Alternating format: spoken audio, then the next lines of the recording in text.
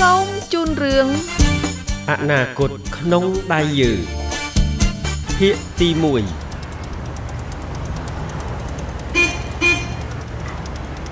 ហានអើយហើយអាលះលាងទៅណាហ្នឹង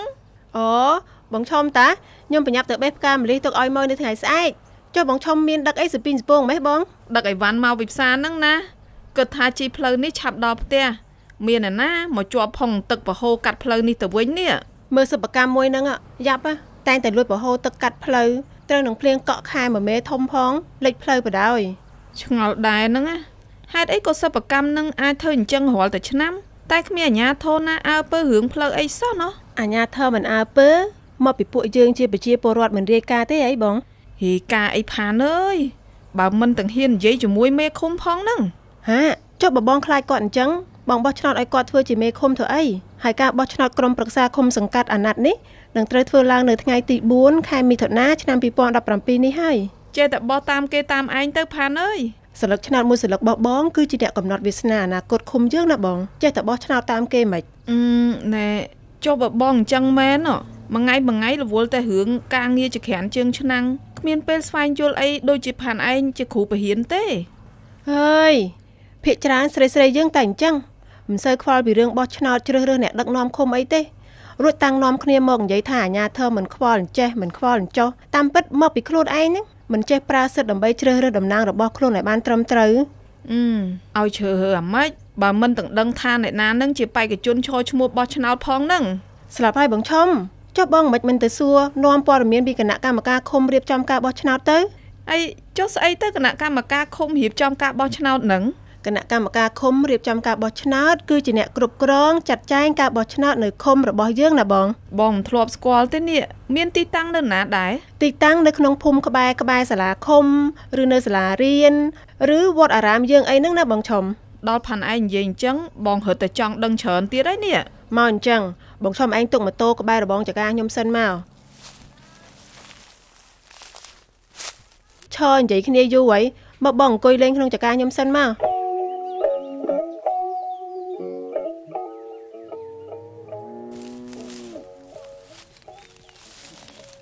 មកអង្គុយលើក្រែសីនេះសិនមកបងឈុំមកអឺតោះផាណា មុននឹងបងគិតថានឹងមិនទៅបោះឆ្នោតទេតែដល់ស្ដាប់ផានឯងនិយាយពីប្រយោជន៍ក្នុងឃុំអញ្ចឹងបងចង់ទៅវិញហើយតែណែតែយ៉ាងម៉េចបង បងឈុំមិនទាន់បានចុះឈ្មោះបោះឆ្នោតមែនទេអត់ទេ បងបានចុះឈ្មោះបោះឆ្នោតរួចហើយតាតែអត្តសញ្ញាណប័ណ្ណសញ្ជាតិខ្មែររបស់បងដែលត្រូវយកទៅជាមួយនៅពេលបោះឆ្នោតនោះវាបាត់ទៅហើយហើយបងអត់ដឹងថាធ្វើម៉េចអាចទៅបោះឆ្នោតបានទេនេះ មិនអីទេបងអញ្ចឹងបងទៅសុំឯកសារបញ្ជាក់អត្តសញ្ញាណបម្រើឲ្យការបោះឆ្នោតពីគណៈកម្មការឃុំរៀបចំការបោះឆ្នោតទៅបងសុំបានដែរសល់តែជាមួយខែទៀតដល់ថ្ងៃបោះឆ្នោតហើយនឹងផានចាបានតើបង បងឆាប់ទៅជួបគណៈកម្មការឃុំរៀបចំការបោះឆ្នោតហើយប្រាប់គាត់ពីបញ្ហារបស់បងទៅគាត់នឹងបង្ហាញពីនីតិវិធីដល់បងហើយផានក្រៅតែពីរឿងហ្នឹងបងអាចសួរនាំអីខ្លះបានពីគណៈកម្មការឃុំរៀបចំការបោះឆ្នោតនោះបងអាចពិនិត្យឈ្មោះខ្លួនឯងក្នុងបញ្ជីបោះឆ្នោត បងអាចរកមើលបញ្ជីបេក្ខជននៃគណៈបកនយោបាយដែលឈរឈ្មោះបោះឆ្នោតនៅក្នុងឃុំនិងព័ត៌មានផ្សេងផ្សេងជុំវិញដំណើរការបោះឆ្នោតដែលប្រព្រឹត្តឡើងនៅថ្ងៃទី2ខែមិថុនាឆ្នាំ2017នេះបងយល់ហើយបងនឹងទៅជួបមន្ត្រីនៃគណៈកម្មការឃុំរៀបចំការបោះឆ្នោតលើកនេះបងនឹងជ្រើសរើសមេឃុំដែលបងពេញចិត្តហើយយល់សុខទុក្ខរបស់អ្នកភូមិយើងច្បាស់ត្រូវហើយបងឈុំយើងរស់នៅក្នុងសង្គមលទ្ធិប្រជាធិបតេយ្យ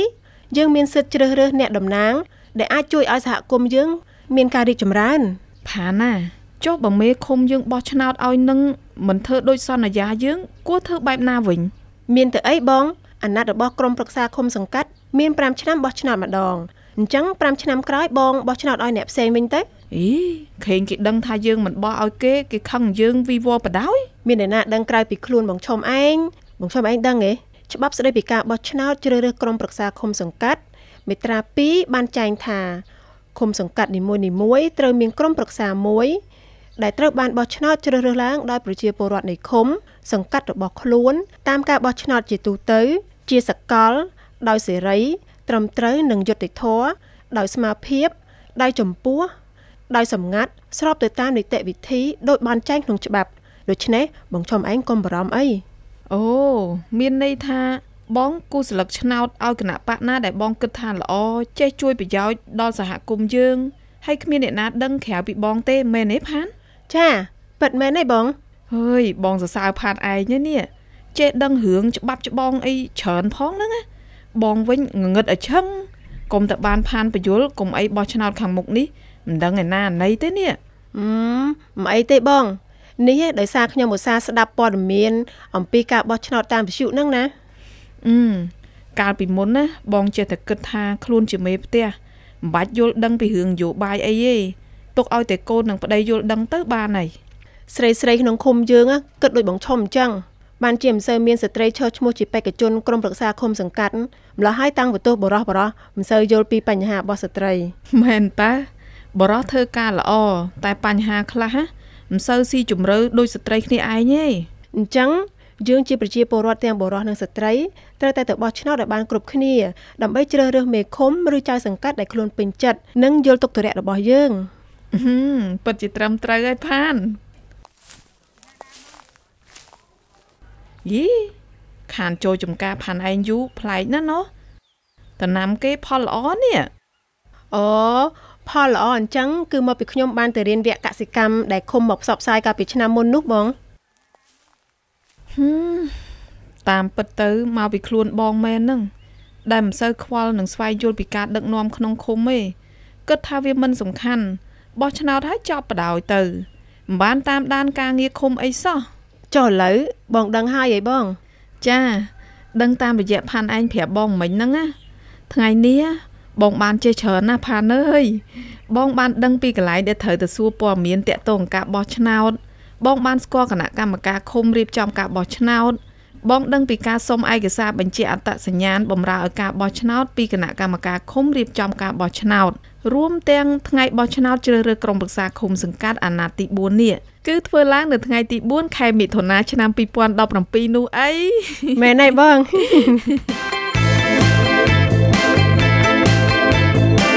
យើងទៅបោះឆ្នោតដើម្បីអនាគតរបស់ពួកយើង ផលិតដោយគណៈកម្មាធិការជាតិរៀបចំការបោះឆ្នោតដែលគ្រប់គ្រងដោយទីភ្នាក់ងារសហប្រតិបត្តិការអន្តរជាតិនៃប្រទេសជប៉ុន JICA សូមជូនរឿងអនាគតក្នុងដៃយើងភាគទី2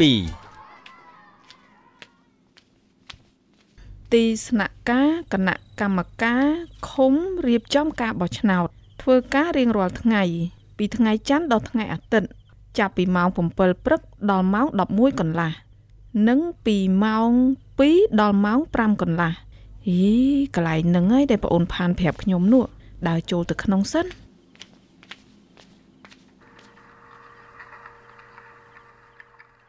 មានមនុស្សម្នាច្រើនគួរសម អង្គុយលើកៅអីរងចាំនេះសិនសួស្តីអូន បាទបង បងខ្ញុំមានសំណួរមួយ តើពេលណាទើបបានគេចែកបានព័ត៌មានអ្នកបោះឆ្នោតបងអូចាសាលាឃុំសង្កាត់ចាប់ផ្ដើមចែកចាប់ពីថ្ងៃទី17ខែមេសារហូតដល់ថ្ងៃទី16ខែឧសភាបន្ទាប់មកទៀតគណៈកម្មការឃុំសង្កាត់រៀបចំការបោះឆ្នោតជាអ្នកចែកបន្តមីងមីងអញ្ជើញមានកាយដែរចាស់ក្មួយអឺខ្ញុំខ្ញុំចង់ចង់សួរព័ត៌មានខ្លះៗអំពីការបោះឆ្នោតអឺនិយាយអញ្ចឹងក្មួយមិញហ្នឹង មីងឬក្មួយនិយាយថា បានព័ត៌មានអ្នកបោះឆ្នោតអាហ្នឹងស្អីគេក្មួយ បាទបានព័ត៌មានបោះឆ្នោតហ្នឹងគឺជាបានដែលផ្ដល់ព័ត៌មានផ្ទាល់ខ្លួន ចំពោះអ្នកទាំងឡាយណាដែលមានឈ្មោះក្នុងបញ្ជីបោះឆ្នោតណាមីងអូមីងយល់ហើយបាទមីងមីងអឺមីងអញ្ជើញទៅជួបជំនួយការរបស់ប្រធានគណៈកម្មការឃុំសង្កាត់រៀបចំការបោះឆ្នោតទៅមីងគេនឹងផ្ដល់ព័ត៌មានពីការបោះឆ្នោតជូនមីងហើយចាអរគុណក្មួយ ជំរាបសួរមីងចាក្មួយអឺខ្ញុំខ្ញុំចង់សួរណែអូចាំមិញអញ្ជើញអង្គុយកៅអីនេះសិនមកមិញចាក្មួយមិញមានចង្អល់អីដែរមែនមិញមីងណែបានចុះឈ្មោះបោះឆ្នោតរួចហើយអូតែអត្តសញ្ញាណប័ណ្ណសញ្ជាតិខ្មែររបស់មីងហ្នឹងណាទើបតែជ្រុះបានហើយដើម្បីអាចបោះឆ្នោតបានតើមីងគួរធ្វើម៉េចទៅក្មួយល្អមិញ មិញមកសួរព័ត៌មាននេះតនពេលជាទូទៅឯកសារបញ្ជាក់អត្តសញ្ញាណបម្រើការបោះឆ្នោតអាចស្នើសុំចាប់ពីថ្ងៃទី4ខែឧសភាដល់ថ្ងៃទី2ខែមិថុនានៅគណៈកម្មការឃុំសង្កាត់រៀបចំការបោះឆ្នោតអញ្ចឹងតើមីងត្រូវបំពេញឯកសារអីខ្លះទៅក្មួយណោះអូមីង មីងត្រូវមកបង្ហាញខ្លួនដោយផ្ទាល់នៅចំពោះមុខគណៈកម្មការឃុំសង្កាត់រៀបចំការបោះឆ្នោតដើម្បីបំពេញលិខិតស្នើសុំនិងត្រូវមានរូបថតទំហំ3គុណនឹង4ចំនួន3សន្លឹកថតចំពីមុខសាក្សីចំនួន2នាក់ដែលមានសិទ្ធិបោះឆ្នោត មានលំនៅឋានឬទីសំណាក់ក្នុងឃុំសង្កាត់ជាមួយមីងរូបថតដល់ទៅ3សន្លឹកណោះក្មួយចា រូបថត3សន្លឹកគឺបិទនៅផ្នែកគល់បញ្ជីមួយសន្លឹករក្សាទុកនៅគណៈកម្មការឃុំសង្កាត់រៀបចំការបោះឆ្នោតផ្នែកកណ្ដាលមួយសន្លឹករក្សាទុកនៅសាលាឃុំសង្កាត់ហើយមួយសន្លឹកទៀតបិទនៅផ្នែកចុងសន្លឹកទុកជូនមីងប្រើនៅពេលបោះឆ្នោតតើបោះឆ្នោតថ្ងៃណាដែរក្មួយចាមីងគឺនៅថ្ងៃអាទិត្យទី4ខែមិថុនាឆ្នាំ2017ខាងមុខនេះហើយចាមីងសូមមីងអញ្ជើញមកពិនិត្យឈ្មោះក្នុងបញ្ជីបោះឆ្នោត នៅការិយាល័យបោះឆ្នោតនៅថ្ងៃទី3ខែមិថុនាឆ្នាំ2017ឬនៅគណៈកម្មការឃុំសង្កាត់រៀបចំការបោះឆ្នោតណាមីងមីងធ្លាប់មកពិនិត្យម្ដងហើយបន្ទាប់ពីចុះឈ្មោះបោះឆ្នោតរួចនោះហេតុអីចាំបាច់មកពិនិត្យម្ដងទៀតធ្វើអីក្មួយចាមីង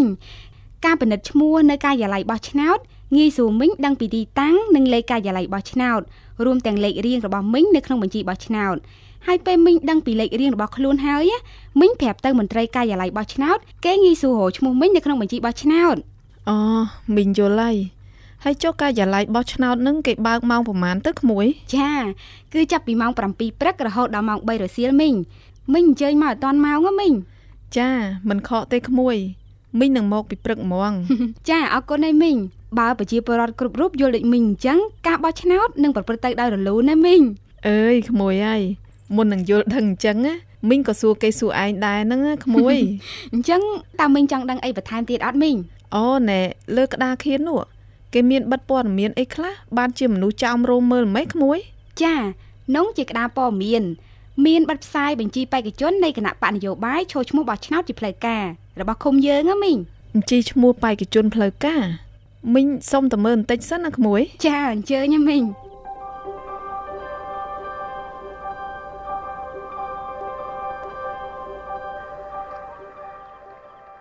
បញ្ជីឈ្មោះបេក្ខជន បើកមើលឈ្មោះទៀតសិន មានអ្នកណាខ្លះហីឈ្មោះសាក់សុផាន ភេទស្រី គឺប្អូនផានតាប្អូនផានឈរឈ្មោះជាបេក្ខជនក្រុមប្រឹក្សាដែរប្អូនផានអើយប្អូនផាន មិនគួរណាមិនប្រាប់ខ្ញុំសោះ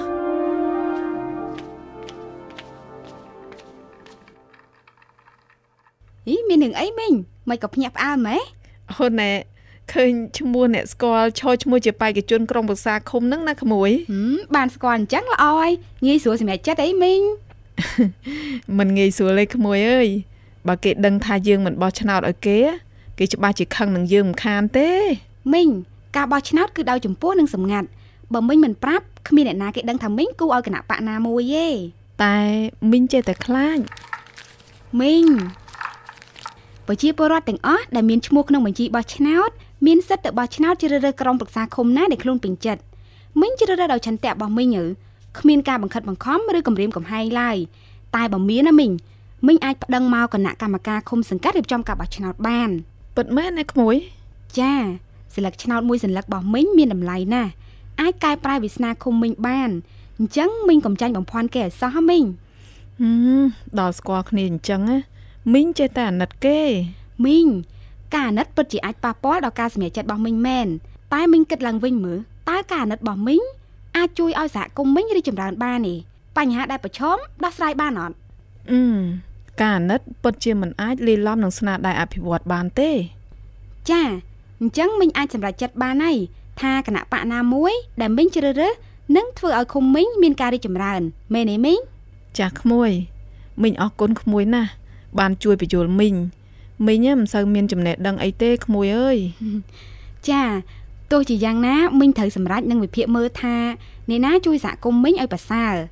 នេះទៅជារឿងសំខាន់ដែលអ្នកបោះឆ្នោតត្រូវធ្វើមិនមែនជឿទៅលើការឃោសនាមួយមុខទេមីងត្រូវហើយក្មួយមីងជួបច្រើនហើយឃោសនាល្អល្អតែដល់អនុវត្តណាសូន្យចាអញ្ចឹងហើយបានជាច្បាប់កំណត់អាណត្តិបោះឆ្នោតត្រឹម5ឆ្នាំម្ដងបើមិនកើតប្រជាពលរដ្ឋយើងមានសិទ្ធិបដូរបានតើមីង អរគុណក្មួយក្មួយស្រីពូកែពយល់មីងណានេះបើមីងមានកូនវ័យសបាលក្មួយមីងតដឹងឲ្យកូនមីងមកមីងនិយាយអញ្ចឹងខ្ញុំអៀនណាមីងតែខ្ញុំមានគ្រួសាររួចហើយអីកដាអីហ្នឹងក្មួយអូជាកដាឆ្នោតគំរូថ្ងៃបោះឆ្នោតមិញនឹងទទួលបានសិលឹកឆ្នោតផ្លូវការដែលមានឈ្មោះនិងរូបនិមិត្តសញ្ញាតំណាងរបស់គណៈបកនយោបាយដូចនេះមិញត្រូវគិតគូរឲ្យបានម៉ត់ចត់ មុននឹងសម្រេចចិត្តគូក្នុងប្រអប់4ជ្រុងគ្រប់គ្រងគណៈបកដែលមិញពេញចិត្តណាមីងចាដឹងហើយក្មួយប្រសិនមិញមានចម្ងល់អ្វីទៀតអាចមកសួរនៅទីស្នាក់ការគណៈកម្មការឃុំសង្កាត់រៀបចំការបោះឆ្នោតបានរៀងរាល់ម៉ោងធ្វើការគឺពីថ្ងៃច័ន្ទដល់ថ្ងៃអាទិត្យចាប់ពីម៉ោង7ព្រឹកដល់ម៉ោង11កន្លះនិងពីម៉ោង2ដល់ម៉ោង5កន្លះឬមិញអាចហៅទូរស័ព្ទទៅលេខ1285ឬ1018 2017សម្រាប់ព័ត៌មានបន្ថែម អញ្ចឹងស្អែកមីងនឹងមកម្ដងទៀតដើម្បីធ្វើលិខិតស្នើសុំឯកសារបញ្ជាក់អត្តសញ្ញាណបម្រើការបោះឆ្នោតណាក្មួយ ចាមីងត្រូវនាំសាក់សីពីររូបមកជាមួយផង អ្នកដែលមានសិទ្ធិបោះឆ្នោត មានលំនៅឋានឬទីសំណាក់នៅក្នុងឃុំជាមួយមីងរួមទាំងរូបថត3សន្លឹកផងណាមីងចាក្មួយអរគុណឯក្មួយណែមីងគិតលាសិនហើយណាចាអញ្ជើញចាំមីង យើងទៅបោះឆ្នោតដើម្បីអនាគតរបស់ពួកយើង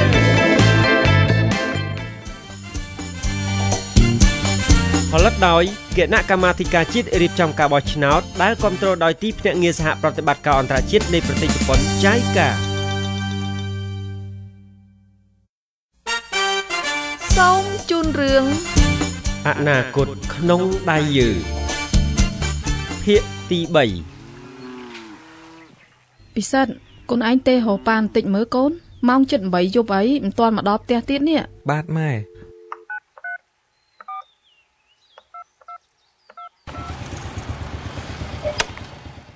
អូនោះ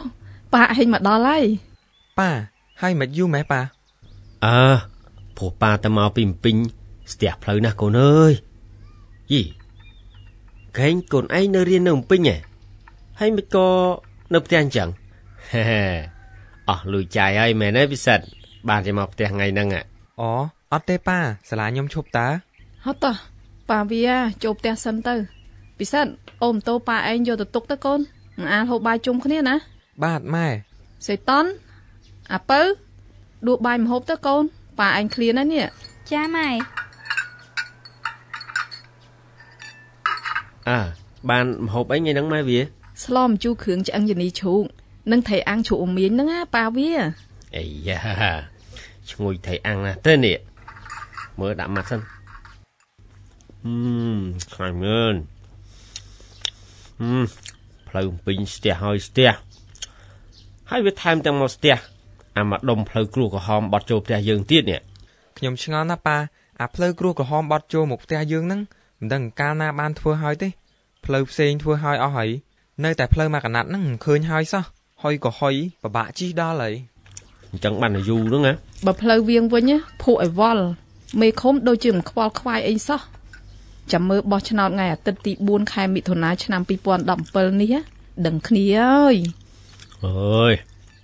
ម៉ែវាអើយបោះឆ្នោតអី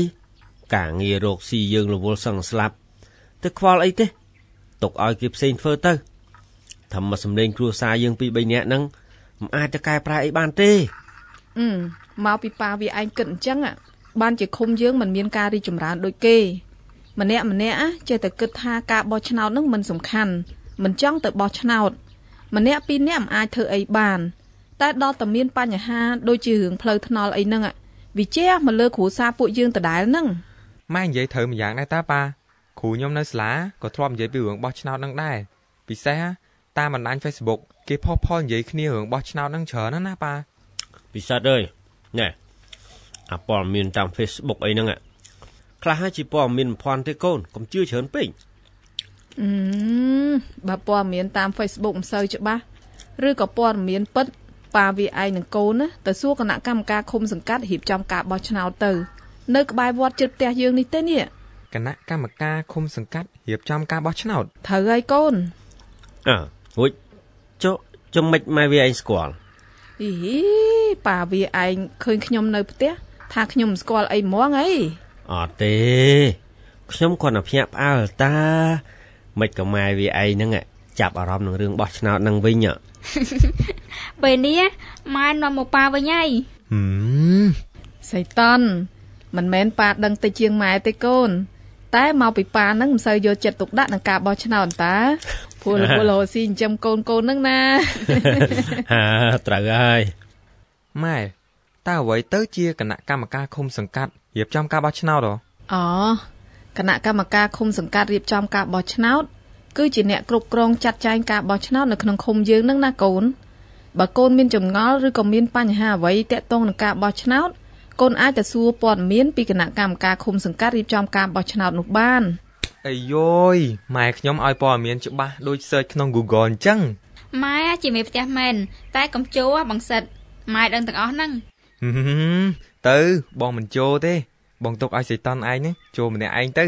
ម៉ែប៉ាមើលបងសិតអពេកមាត់ដាក់កូនបានហើយកូនកូននាំគ្នាញ៉ាំបាយទៅ ចាប៉ាបាទប៉ាប៉ាវាឯងដឹងអត់ ប្អូនផានគ្រូបរិញ្ញាអាពៅកូនយើងឈរឈ្មោះជាបេក្ខជនបោះឆ្នោតក្រុមប្រឹក្សាឃុំយើងណាមីងផានម្ដាយនេះដីហ្នឹងមែនម៉ែគាត់ឈប់ធ្វើគ្រូហើយជួយអ្នកចិត្តខាងយើងមានមីងផាន2មកពីណាបងសិតគឺមីងផានម្ដាយបងនេះរដីហ្នឹងហើយគាត់ឈប់បង្រៀនជិត1ឆ្នាំហើយតាបងសិតអូអញ្ចឹងបានជាខ្ញុំអាសាឃើញផានចោះជួយក្រុមស្ត្រីរងគ្រោះនិងអប់រំក្មេងៗញៀនថ្នាំអត់ដឹងសោះថាផានចង់ចូលឈ្មោះជាបេក្ខជនក្រុមប្រឹក្សាឃុំ បើសិនជាមីងផានជាប់ជាមេឃុំល្អតាពុកគាត់យល់សុខទុក្ខយើងនិងអ្នកភូមិយើងនឹងជួយឲ្យក្មេងស្រីស្រីៗបានទៅសាលារៀនទៀតឆេញណាស់សៃតនអើយនិយាយដូចខ្លួនឯងហ្នឹងដឹងក្តីណាស់អញ្ចឹងក្មេងមិនតាន់ជ្រុះបល័យពីក្បាលផងអ៊ីមិនទាន់មិនបងសិតតន់អាយុដល់7ឆ្នាំហើយណាឆ្នាំក្រោយតន់មានសិទ្ធិបោះឆ្នោតហើយខ្ញុំនឹងប្រើសិទ្ធិខ្ញុំបោះឆ្នោតឲ្យអ្នកដឹកនាំស្ត្រីណាដែលអាចជួយឲ្យជីវភាពអ្នកភូមិយើងធូរធារបានអូណាជីវភាពធូរធារ វាតលតែយើងនឹងខំប្រឹងរណាកូនមិនមែនដោយសារតែមានមេឃុំល្អទេ វារួមផ្សំគ្នានឹងណាប៉ាវាយើងខំប្រឹងខ្លួនឯងផងគប់ផ្សំនឹងយើងមានមេឃុំល្អផង យើងមុខជាធូរធារមិនខានទេម៉ែនឹងម៉ែគេនឹងជួយអភិវឌ្ឍផ្លូវប្រព័ន្ធទឹកផ្ដល់ការប្រឹក្សាផ្នែកសេដ្ឋកិច្ចច្បាប់កសិកម្មបង្រៀនពីការរកចំណូលជាដើមទាំងអស់ហ្នឹងហើយដែលជួយឲ្យជីវភាពប្រជាពលរដ្ឋក្នុងឃុំយើងធូរធារជាងមុនហ្នឹងណាប៉ាវា យីដល់ម៉ែវាឯងនិយាយអញ្ចឹងមួយយ៉ាងដែរតែបើប្រជាពលរដ្ឋខ្លះដែលខ្ជិលច្អូសពួកគេមិននៅតែក្រទៅហើយទេអីប៉ា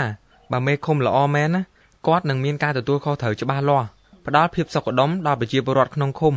ធ្វើឲ្យប្រជាពលរដ្ឋរស់នៅដោយមិនមានការភ័យខ្លាចពីអសន្តិសុខឬចោរកម្មអីនោះទេ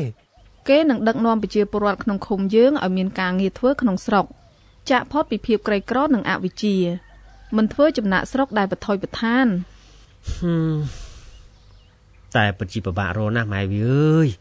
មេឃុំដែលល្អអញ្ចឹងនោះទៅរកឯណាបានអឺដូច្នេះហើយបានជាយើងត្រូវតែទៅបោះឆ្នោតជ្រើសរើសមេដឹកនាំដែលល្អមានការទទួលខុសត្រូវស្រឡាញ់ប្រជាពលរដ្ឋដោយពិតប្រាកដហើយមានអាណត្តិ5ឆ្នាំម្ដងនឹងណាប៉ាវាអញ្ចឹងមានន័យថា បើមេឃុំធ្វើមិនល្អមិនអភិវឌ្ឍភូមិឃុំយើងអាចបោះឆ្នោតបដូរអ្នកផ្សេងវិញនៅ5ឆ្នាំបន្ទាប់ទៀតម៉ែណែម៉ែយីត្រូវម៉ាច់ហ្មងសៃតនចាប់ដើមឆ្លាតបន្តិចឯតើម៉ែតាំងពីខ្ញុំបដៅមកអែកបងសិតហេកូនកូននេះឲ្យតែវាជុំគ្នា ពិសេសពេលបាយហ្នឹងដឹងតែញោះគ្នាហ្មងយ៉ាប់ណាស់កូនកូននេះនោះពេលពិសិដ្ឋទៅរៀននៅភ្នំពេញបានណា សៃតនមិនសូវបានមាត់បានកដែរនឹងណាឪវាអាមើលបាយទឹករួចរាល់ហើយរៀបចំចានក្បាលនេះទុកទៅកូន ចាប៉ាសិតអាជួយរៀបចំប្អូនទៅកូន បាទម៉ែម៉ែវាចាការបោះឆ្នោតណាពិតជាសំខាន់មែនអីចាខ្ញុំបានស្ដាប់ការបញ្យល់របស់ធីតាធ្វើការនៅគណៈកម្មការឃុំសង្កាត់រៀបចំការបោះឆ្នោត ហើយនឹងប្អូនផាន ការបោះឆ្នោតជារឿងសំខាន់ណាស់ណាប៉ាវាក្រែងពូនផានឃោសនាចង់បានសម្លេងគ្រប់គ្រងពីយើងទេដឹងម៉ែវាទើបជំរុញឲ្យយើងទៅបោះឆ្នោតអីអញ្ចឹងហ្នឹងណាអត់ទេផានប្រាប់ខ្ញុំឲ្យទៅសួរព័ត៌មានពីគណៈកម្មការឃុំសង្កាត់រៀបចំការបោះឆ្នោតតែមិនបាននិយាយឃោសនាពីគណៈបកគេទេហើយចុះម៉ែវាឯងបានដឹងព័ត៌មានអីខ្លះពីគណៈកម្មការឃុំសង្កាត់រៀបចំការបោះឆ្នោតហ្នឹងមានព័ត៌មានច្រើនណាស់តាក់ទងនឹងដំណើរការបោះឆ្នោត ដូចជាឯកសារយកទៅជាមួយនៅថ្ងៃបោះឆ្នោតអឺម៉ោងធ្វើការរបស់ការិយាល័យបោះឆ្នោតរបៀបពិនិត្យឈ្មោះនៅមុខការិយាល័យបោះឆ្នោត និងរបៀបគូសស្លឹកឆ្នោតអូចំគាត់នៅគូស្លឹកឆ្នោតហ្នឹងម៉ែវាឯងមិនចេះគូដែរអឺទោះខ្ញុំចេះនឹងធ្លាប់បោះឆ្នោតក៏ដោយ តែដឹងបន្ថែមទៀតមានតែទាស់ខុសអីប៉ាវាម្យ៉ាងបើយើងគូខុសស្លឹកឆ្នោតយើងនឹងក្លាយជាសម្លេងអត់បានការ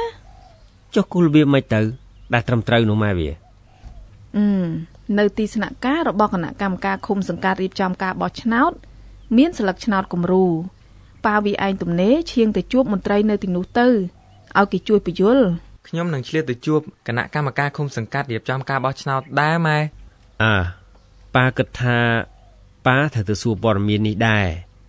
ជាប្រជាពលរដ្ឋរស់នៅក្នុងឃុំនេះនឹងគេនឹងឯងដែរ មិនគួរបង្ងើយកតាយនឹងការបោះឆ្នោតជ្រើសរើសក្រុមប្រឹក្សាឃុំសោះហ្នឹងហើយការចូលរួមបោះឆ្នោតជ្រើសរើសក្រុមប្រឹក្សាឃុំសង្កាត់ផ្ដល់ប្រយោជន៍ច្រើនណាស់ដល់គ្រួសារយើងនិងអ្នកភូមិទាំងអស់គ្នាត្រូវហើយសម្លេងយើងនឹងធ្វើឲ្យឃុំរបស់យើងមានការកែប្រែ និងអភិវឌ្ឍជីវភាពថ្មីដើម្បីផលប្រយោជន៍ឃុំយើងណាខ្ញុំណាត្រូវតែត្រឡប់មកបោះឆ្នោតនៅផ្ទះវិញមែនហើយកូនកូនចុះឈ្មោះនៅឃុំយើងនេះ គឺត្រូវមកបោះឆ្នោតនៅទីនេះវិញអញ្ចឹងហើយបាទម៉ែហេប្រពន្ធខ្ញុំក្រៅពីប៉ិនប្រសពធ្វើមហូបច្បាស់អាខាងចក្រានជើងឆ្នាំងនឹងហើយនៅប៉ិនខាងតាក់តងរកព័ត៌មានបោះឆ្នោតអីណាណីទៀតនេះ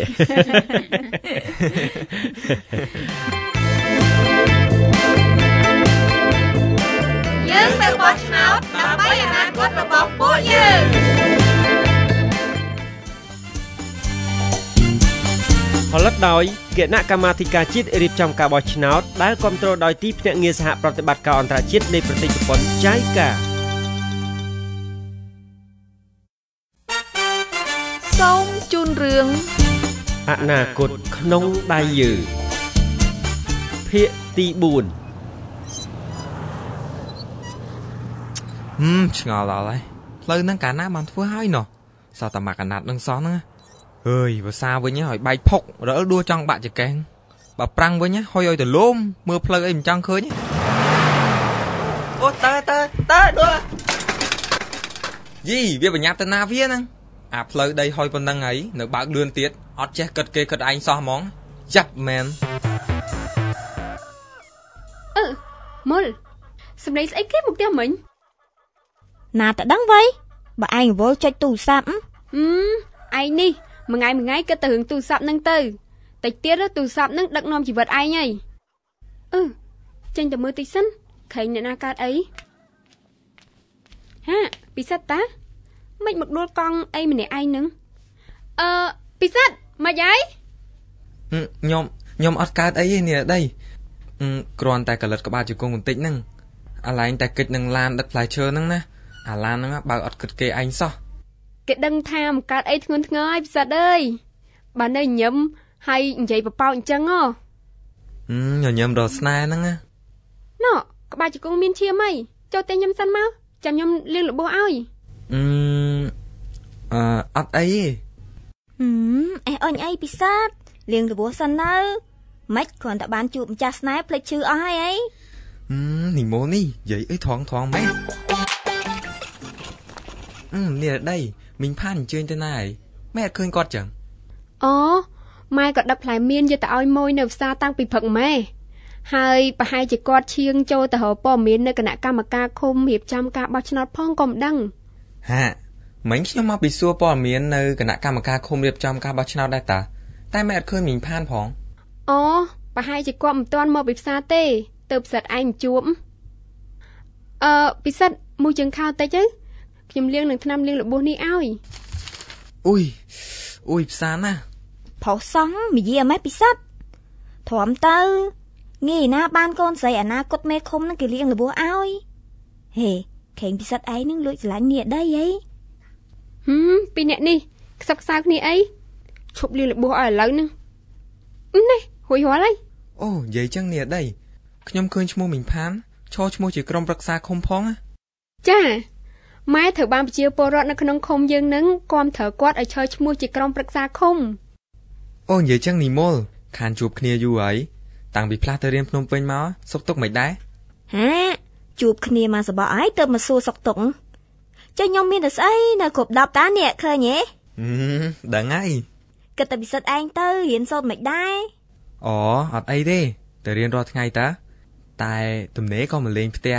នឹងចង់ដឹងព័ត៌មានខ្លះខ្លះ ពីការបោះឆ្នោតជ្រើសរើសក្រុមប្រឹក្សាគុំសង្កាត់យើងហ្នឹងណាពីរអ្នកនេះនិយាយត្រូវគ្នាណាណូហឹមមានណានេះដី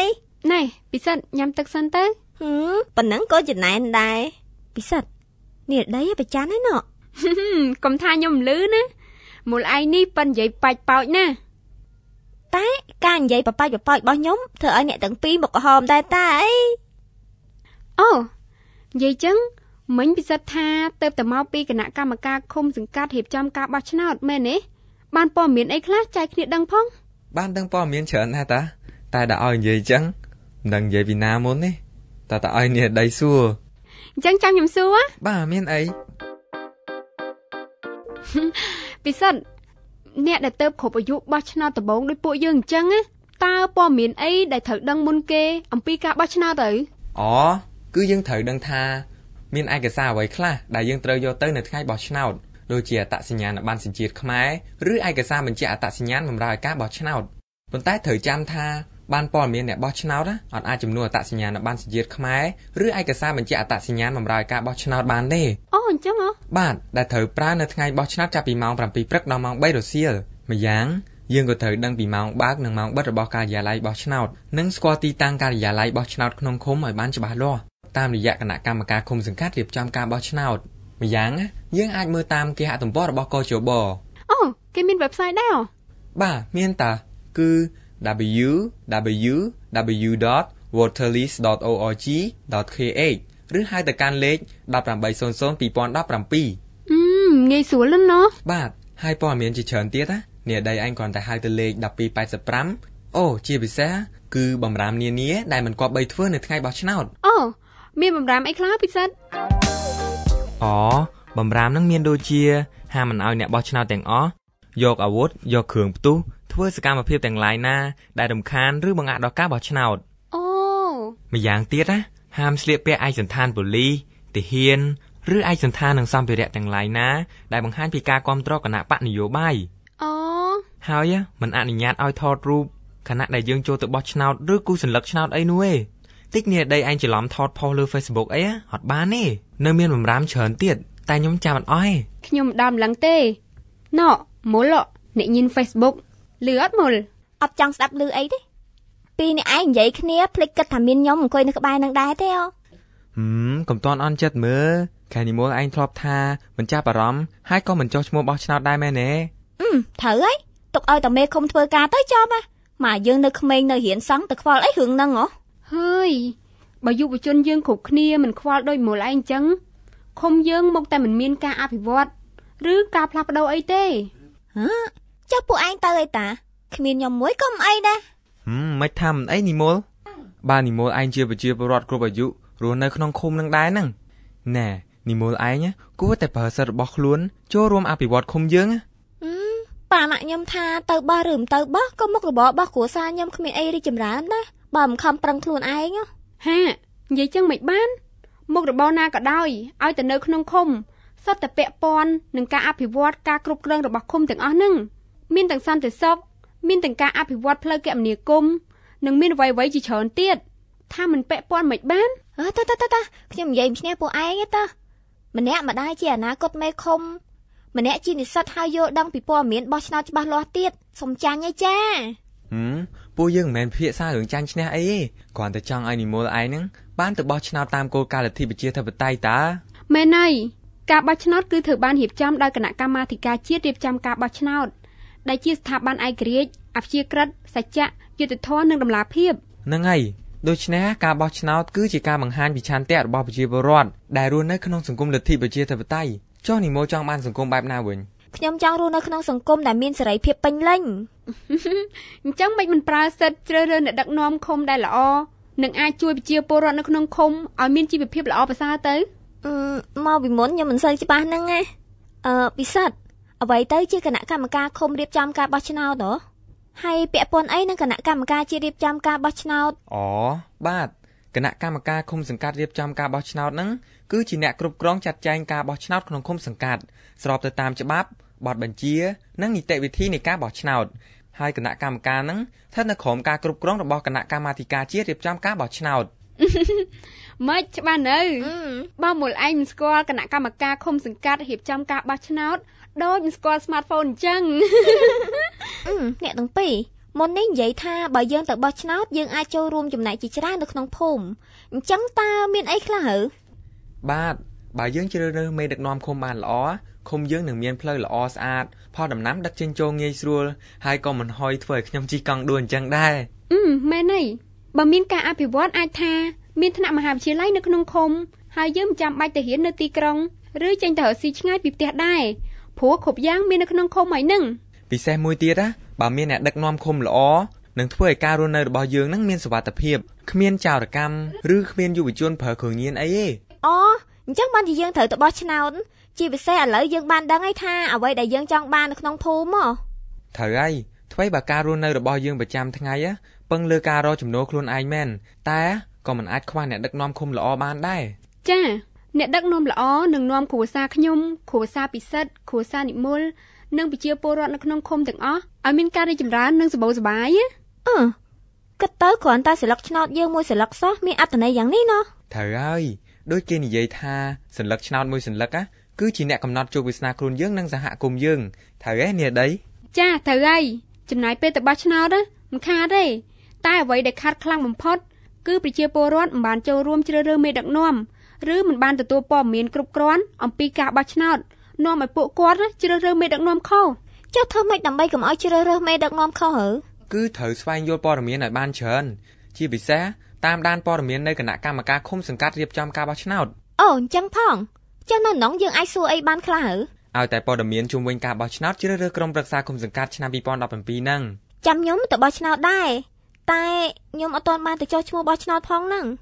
និមលឯងអាចចុះឈ្មោះឆ្នាំនេះដើម្បីបោះឆ្នោតនៅឆ្នាំក្រោយបានតែខ្ញុំមានពេលដល់សៅរ៍អាទិត្យហ្នឹងណាគេធ្វើការនិមលឯងអាចសួរព័ត៌មានពីគណៈកម្មការឃុំរៀបចំការបោះឆ្នោត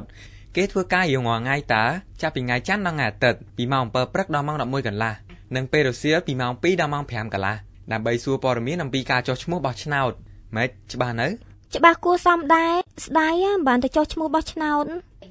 ហឹមមិនអីទេ5ឆ្នាំក្រោយនិមលនឹងមានឱកាសជ្រើសរើសក្រុមប្រឹក្សាឃុំម្ដងទៀតបានតើពិសិដ្ឋខ្ញុំចង់ឲ្យប៉ាម៉ាក់ខ្ញុំបានទទួលព័ត៌មានដូចខ្ញុំដែរតែខ្ញុំគួរធ្វើម៉េចទៅ មានតែស្អីឲ្យពួកគាត់ទៅសួរព័ត៌មាននៅគណៈកម្មការឃុំសង្កាត់រៀបចំការបោះឆ្នោតទៅតែខ្ញុំគិតថាពួកគាត់ច្បាស់ជាមិនខ្វល់នឹងការជ្រើសរើសមេដឹកនាំឃុំអីទេតើខ្ញុំគួរធ្វើម៉េចទៅដើម្បីបញ្ចុះបញ្ចូលពួកគាត់ហ៎អូមុលឯងបញ្យល់គាត់ពីប្រយោជន៍នៃការជ្រើសរើសអ្នកដឹកនាំឃុំទៅបន្ទាប់មកឲ្យគាត់ចូលរួមស្ដាប់មើលការឃោសនាបោះឆ្នោតទៅណែដែលគេនឹងចាប់ផ្ដើមនៅថ្ងៃខាងមុខនេះហើយការឃោសនាបោះឆ្នោតគេធ្វើនៅពេលណាឪ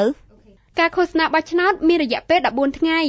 គឺចាប់ពីថ្ងៃទី20ខែឧសភាដល់ថ្ងៃទី2ខែមិថុនាយីកូនស្រីអនាគតមេឃុំច្បាស់ណាស់ណោះច្បាស់មែនតែមិនមកខំឲ្យបោះឆ្នោតឲ្យម៉ែខ្ញុំទេមុល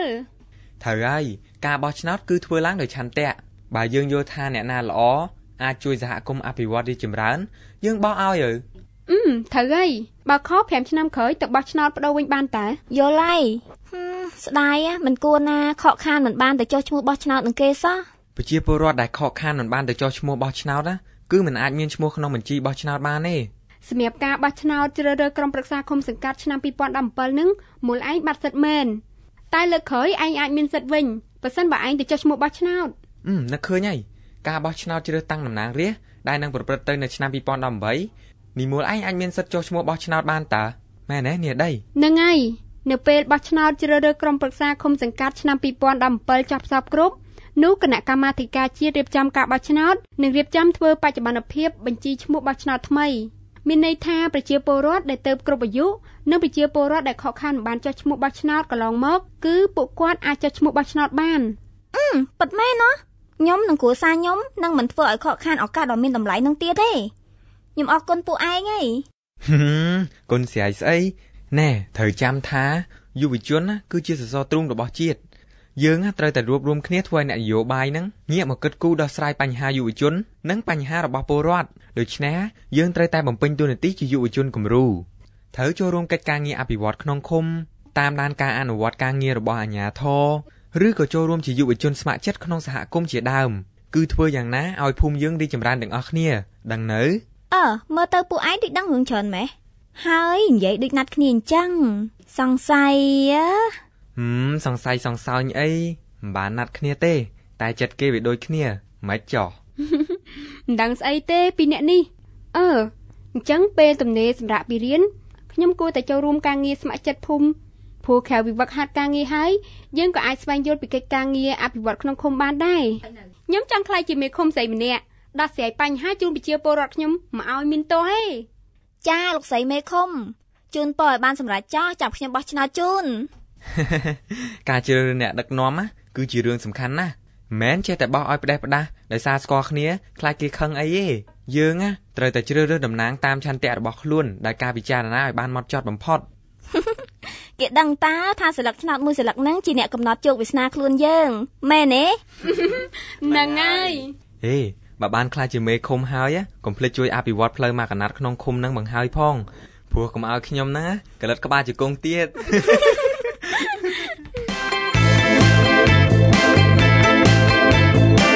យើងទៅបោះឆ្នោតដើម្បីអនាគតរបស់ពួកយើង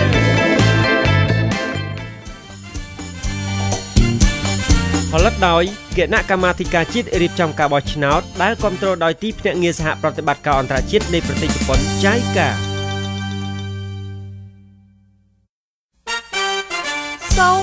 រឿងអនាគតក្នុងដៃយើងភាគទី5ជាភាគបញ្ចប់អឺម៉ែវាចាអើប្រហែលថ្ងៃទៀតដល់ថ្ងៃបោះឆ្នោតទេណាចាដឹងតើហើយឯងគិតឃើញនៅថាបោះឆ្នោតឲ្យគណៈបកណាហ្នឹងណែជ្រើសរើសអ្នកដឹកនាំមិនអាចសម្រេចចិត្តភ្លាមភ្លាមបានទេប៉ាវា តែខ្ញុំបានគិតគូរតាំងពីយូរមកហើយគឺអ្នកដែលមានសមត្ថភាពអាចដឹកនាំឃុំយើងបាន ចេះគិតគូរដោះស្រាយបញ្ហាជូនប្រជាជន ពិសេសស្ត្រីនិងកុមារហ្នឹងណាអូអញ្ចឹងផងហ៎ចាហើយសំខាន់ណាស់ណា គឺចេះដឹងទុកធុរៈសហគមន៍យកប្រយោជន៍សហគមន៍ជាធំនឹងណាគឺជាអ្នកដែលខ្ញុំត្រូវបោះឆ្នោតជូនហើយប៉ាវាអើយយីណាគេទៅណជាអាយដលក្នុងបដូរម៉ាខ្ញុំហេការបោះឆ្នោតជាការសម្ងាត់មិនអាចប្រាប់គេបានទេយ៉ា មិនប្រាប់ឲ្យទៅខ្ជិលចង់ដឹងណាអើយដឹងហើយការបោះឆ្នោតជាការសម្ងាត់បើយើងប្រាប់គេក៏គេមិនដឹងដែរថាយើងបោះឆ្នោតឲ្យគណៈបកណានោះយេកូនកូនអស់នេះអាឡ័យទៅលេងសើចហ្នឹងហើយតោះឆាប់បាយទឹកទៅបាទប៉ាចាអូនិយាយអញ្ចឹងម៉ែវាខ្ញុំឮគេថានៅថ្ងៃបោះឆ្នោត គេមានបំរាមហាមឃាត់មិនឲ្យយករបស់មួយចំនួន ចូលទៅក្នុងការិយាល័យបោះឆ្នោតទេណាតើមានអីខ្លះទៅណោះដល់ប៉ាវាឯងសួរអញ្ចឹងខ្ញុំឯនេះចង់វាអឺដែរហ្នឹងណាប៉ាហើយម៉ែឆ្ងល់ដូចមិត្តភក្តិខ្ញុំដែរខ្ញុំដឹងតាអើមិនខ្លះទៅកូនបើប៉ាម៉ែចង់ច្បាស់ជាងនេះតើតែសួរគណៈកម្មការឃុំរៀបចំការបោះឆ្នោតអឺម៉ែក៏ចង់ដឹងច្បាស់ដែរចាំស្អែកយើងទៅសួរគណៈកម្មការឃុំរៀបចំការបោះឆ្នោតហ្មងទៅអឺទៅក៏ទៅដែរ ដឹងច្រើនមិនអត់ប្រយោជន៍ទេណោះដូចគេនិយាយថាដឹងច្រើនចម្រើនប្រាជ្ញាមែនទេប៉ាហើយក៏អាចចែករំលែកដល់អ្នកដទៃបានផងដែរអឺអាយនេះចេញមកភ្លាវហ្មងណាម៉ែមកសិតអឺបានហើយបានហើយអើយកូននេះធំធំអស់ហើយញាស់គ្នាដូចក្មេងអញ្ចឹងឆាប់ញ៉ាំបាយទៅនេះងាលបានតែដេកពួនបាទម៉ែអៀ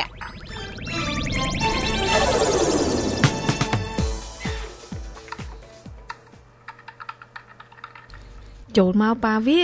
នឹងហើយយេលឹបលោលឹបលោអីហ្នឹងអូជំរាបសួរក្មួយធីតាក្មួយធីតាជំរាបសួរក្មួយអូចាំមីងជំរាបសួរហ៊ីថ្ងៃនេះមកទាំងគូហ្មងឯនេះហើយមិនអីពូមីងសុខសប្បាយហ៎អញ្ជើញអង្គុយលើកៅអីនេះសិនមកពូមីងចាអរគុណក្មួយមីងពូសុខសប្បាយទេហើយរវល់ច្រើនទេថ្ងៃហ្នឹងក្មួយ ចាគៀកដល់ថ្ងៃបោះឆ្នោតអញ្ចឹងមីងមកមេញឹកបន្តិចហើយ ព្រោះអីប្រជាពលរដ្ឋក្នុងឃុំយើងហ្នឹងគាត់ចាប់អារម្មណ៍មកសួរព័ត៌មានច្រើនពីការបោះឆ្នោតឃុំឆ្នាំហ្នឹងណាមីងចាំបាច់អ្នកណាឆ្ងាយតែប្តីមីងឯណែក៏ចាប់អារម្មណ៍មកសួរព័ត៌មាននៅគណៈកម្មការឃុំរៀបចំការបោះឆ្នោតដែរនឹងបានអញ្ចឹងល្អហើយពូពួកខ្ញុំរីករាយនឹងឆ្លើយប្រាប់ព័ត៌មានទាំងអស់ឲ្យតែពូមីងចង់ដឹងអឺនិយាយអញ្ចឹងពូមីងចង់សួរពីអីដែរអូក្មួយស្រីរស់រាយហើយស្អាតអញ្ចឹងដឹងតែពូសួរឲ្យណាណីហ្មង អឺអញ្ចេះក្មួយពូចង់ដឹងថាតើនៅថ្ងៃបោះឆ្នោតគេចាប់ផ្ដើមពីម៉ោងប្រមាណដល់ម៉ោងប្រមាណពូបារម្ភក្រែងរវល់តែដឹកបន្លែប្លុកឲ្យម៉ូយចុះឡើងចុះឡើងហួសម៉ោងបោះឆ្នោតអើយចប់បណ្ដោយចាពូថ្ងៃបោះឆ្នោតជ្រើសរើសក្រុមប្រឹក្សាឃុំសង្កាត់អាណត្តិទី4នេះនឹងប្រព្រឹត្តទៅនៅថ្ងៃអាទិត្យទី4ខែមិថុនាឆ្នាំ2017អូហើយការបោះឆ្នោតគឺចាប់ផ្ដើមពីម៉ោង7ព្រឹកដល់ម៉ោង3រសៀលបើពូមីងមកយឺតជាងនេះ មិនអាចបោះឆ្នោតបានទេចុះឯកសារសំខាន់អ្វីខ្លះដែលត្រូវយកមកប្រើនៅពេលបោះឆ្នោតនឹងក្មួយមីងទៅភ្ជាប់មកជាមួយនឹងអត្តសញ្ញាណប័ណ្ណសញ្ជាតិខ្មែរសម្រាប់អ្នកដែលមិនមានអត្តសញ្ញាណប័ណ្ណសញ្ជាតិខ្មែរឬអត្តសញ្ញាណប័ណ្ណសញ្ជាតិខ្មែរដែលបានខូចឬបាត់បង់ពួកគាត់អាចទៅស្នើសុំឯកសារបញ្ជាក់អត្តសញ្ញាណបម្រើការបោះឆ្នោតបាននៅគណៈកម្មការឃុំសង្កាត់រៀបចំការបោះឆ្នោតរហូតដល់ថ្ងៃទី2ខែមិថុនាឆ្នាំ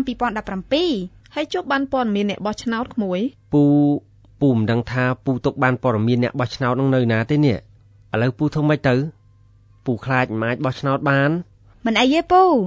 នៅថ្ងៃបោះឆ្នោតពូមិនបាច់យកបានព័ត៌មានអ្នកបោះឆ្នោតទៅទេព្រោះបានព័ត៌មានអ្នកបោះឆ្នោតគ្រាន់តែបង្ហាញពីព័ត៌មានរបស់អ្នកបោះឆ្នោតតែប៉ុណ្ណោះជាពិសេសលេខរៀងរបស់អ្នកបោះឆ្នោតដែលជួយសម្រួលឲ្យអ្នកបោះឆ្នោតបានបោះឆ្នោតកាន់តែស្រួល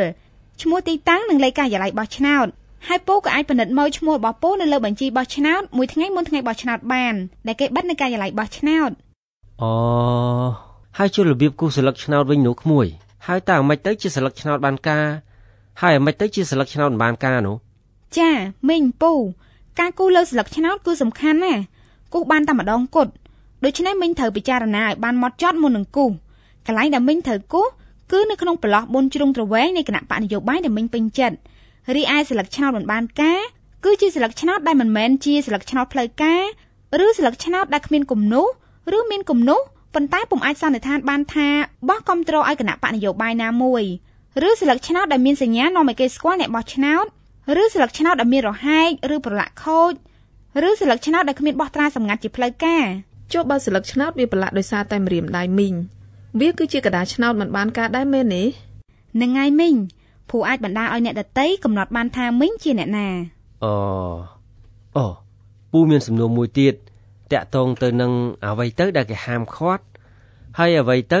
ដែលគេអនុញ្ញាតឲ្យធ្វើនៅក្នុងការិយាល័យបោះឆ្នោតក្មួយការបោះឆ្នោតជាការសម្ងាត់របស់អ្នកបោះឆ្នោតការចង់ដឹងអំពីការសម្ងាត់ឬការបង្ហើបការសម្ងាត់តាមរូបភាពណាមួយក៏ដោយត្រូវបានហាមឃាត់សកម្មភាពដែលបង្ហាញការគ្រប់គ្រងគណៈបកនយោបាយឈរឈ្មោះ រួមមានការបង្ហាញអ្វីមួយដែលតាក់ទងទៅនឹងគណៈបកនយោបាយឬនិយាយអ្វីដែលមានឥទ្ធិពលដល់អ្នកបោះឆ្នោតនៅក្នុងការិយាល័យបោះឆ្នោតការថតរូបក៏ត្រូវបានហាមឃាត់ផងដែរចុះឆ្កែពូយកទៅបានទេអត់បានទេវាធ្វើឲ្យរំខានដល់អ្នកដតីទេពូអូមានតែអ្នកដែលមានឈ្មោះក្នុងបញ្ជីបោះឆ្នោតទេទើបអាចចូលទៅក្នុងការិយាល័យបោះឆ្នោតបានប៉ុន្តែអ្នកបោះឆ្នោតដែលជាជនពិការមិនអាចបោះឆ្នោតដោយខ្លួនឯងបានមានសិទ្ធិជ្រើសរើសអ្នកជំនួយម្នាក់ជានីតិជនទៅជាមួយ ឬមានសិទ្ធិស្នើសុំជំនួយពីប្រធានគណៈកម្មការការិយាល័យបោះឆ្នោតដើម្បីជួយគាត់ក្នុងការបោះឆ្នោតអូហើយសម្រាប់ជនពិការភ្នែកទាំងសងខាងមានបំណងចង់បោះឆ្នោតដោយខ្លួនឯងប្រធានគណៈកម្មការការិយាល័យបោះឆ្នោតនឹងណែនាំដល់ជនពិការនោះឲ្យប្រើក្របក្រដាស់ពិសេសដែលជាសម្ភារៈជំនួយដល់ការបោះឆ្នោតម្យ៉ាងទៀតបើមានជនណាគំរាមដល់អ្នកដទៃបោះឆ្នោតឲ្យគណៈបកខ្លួនឬមិនបោះឆ្នោតឲ្យគណៈបកណាមួយឬរារាំងមិនឲ្យអ្នកដទៃទៅបោះឆ្នោត នឹងត្រូវបានពិន័យទៅតាមច្បាប់ពី5លានទៅដល់20លានរៀលអឺចឹងតើនេះប៉ុន្តែធីតាមីងនៅមិនទាន់ច្បាស់ពីរបៀបបោះឆ្នោតនៅការិយាល័យបោះឆ្នោតទេនេះចាំមីងនៅពេលមីងចូលដល់ក្នុងការិយាល័យបោះឆ្នោតមន្ត្រីបោះឆ្នោតនឹងត្រួតពិនិត្យបញ្ជាក់ថាមីងមិនទាន់បានបោះឆ្នោតសួរបញ្ជាក់ឈ្មោះរបស់មីងពិនិត្យផ្ទៀងផ្ទាត់អត្តសញ្ញាណប័ណ្ណសញ្ជាតិខ្មែរឬឯកសារបញ្ជាក់អត្តសញ្ញាណបម្រើឲ្យការបោះឆ្នោតរបស់មីងរូបពិតជាមួយនឹងរូបថតក្នុងបញ្ជីបោះឆ្នោត គូសញ្ញាថិចក្នុងបញ្ជីបោះឆ្នោតរួចគេឲ្យមីងថិចដើម្បីបញ្ជាក់ថាមីងបានបោះឆ្នោតរួចហើយអូហើយបន្ទាប់មកមីងទៅទទួលយកសិលឹកឆ្នោតពីអនុប្រធានអនុប្រធានហែកសិលឹកឆ្នោតមួយសិលឹកចេញពីគល់បញ្ជីសិលឹកឆ្នោតបោះត្រាសម្ងាត់នៅផ្នែកខាងខ្នងនៃសិលឹកឆ្នោតរួចបត់សិលឹកឆ្នោតនោះជា4ផ្នត់អនុប្រធានណែនាំមីងឲ្យទៅកាន់បន្ទប់សម្ងាត់ពិចារណាឲ្យបានម៉ត់ចត់មុននឹងគូសញ្ញាគ្រប់ត្រមុននឹងចេញពីបន្ទប់សម្ងាត់ មីងត្រូវបត់សន្លឹកឆ្នោតតាមផ្នត់ដើមដើម្បីឲ្យសញ្ញាដែលមីងបានគូសស្ថិតនៅក្នុងផ្នត់មិនអាចមើលឃើញនិងឲ្យរូបសញ្ញានៃត្រាសម្ងាត់ស្ថិតនៅខាងក្រៅបន្ទាប់មកសោកសន្លឹកឆ្នោតរបស់មីងចូលទៅក្នុងហឹបឆ្នោតក្រោយពេលសោកសន្លឹកឆ្នោតចូលទៅក្នុងហឹបឆ្នោតមន្ត្រីបោះឆ្នោតនឹងជលក់ម្រាមចង្អុលដៃស្ដាំនិងទឹកខ្មៅលុបបញ្ជ្រះមុននឹងឲ្យមីងចេញពីការិយាល័យបោះឆ្នោតអូយើងយល់ច្បាស់ហើយអរគុណអ្នកក្មួយស្រី ចាមអីទេអរគុណដូចគ្នាពូមីងតែប៉ុណ្ណេះ ពូលែងបារម្ភទៀតហើយពូនឹងមកបោះឆ្នោតឲ្យទាន់ពេលវេលាត្មងកុំភ្លេចណាប៉ាវាគេបោះឆ្នោតចាប់ពីម៉ោង7ព្រឹកដល់ម៉ោង3រសៀលថ្ងៃអាទិត្យទី4ខែមិថុនាឆ្នាំ2017អញ្ចឹងត្រូវឯក្មួយ ចាពិតជាត្រឹមត្រូវមីង